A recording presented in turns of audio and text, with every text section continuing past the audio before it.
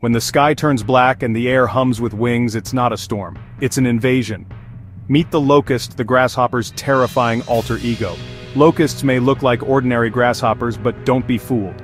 Under the right conditions they transform into destructive, synchronized swarms that can number in the billions.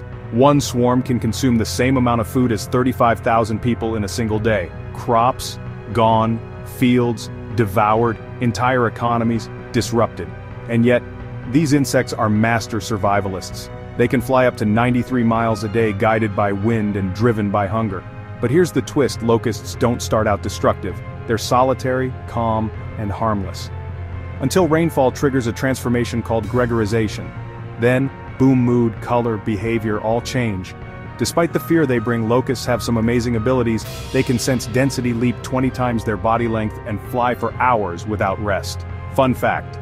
Some ancient civilizations believed locust swarms were punishments from the gods, and in the Bible they were one of the ten plagues of Egypt.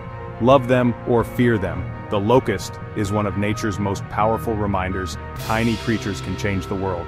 Trivia time. What triggers a locust to go from calm to swarm mode? A. Sunlight. B. Touch and hormones. C. Hunger. Drop your answer in the comments. If this blew your mind swarm into that subscribe button and join us for more jaw-dropping animal facts every week.